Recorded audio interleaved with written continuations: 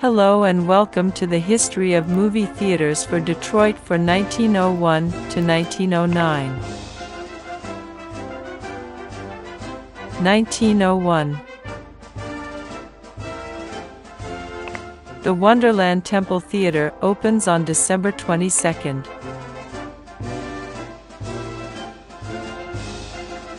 1905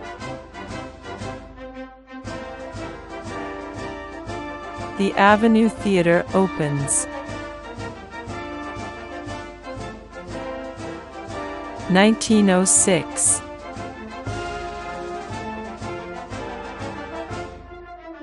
These theaters opened in 1906. 1907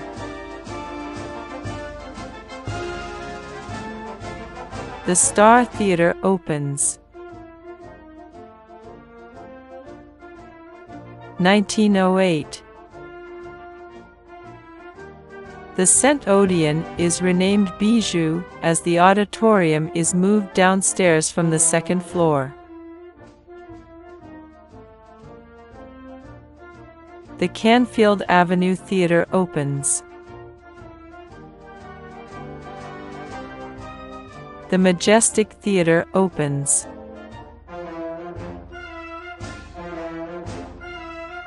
The Princess Theater opens.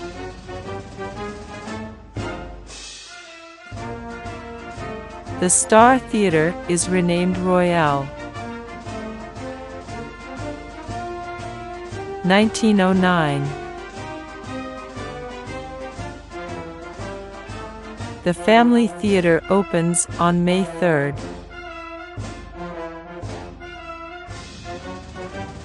The Garrick Theater opened on September 12th. These theaters also opened in 1909.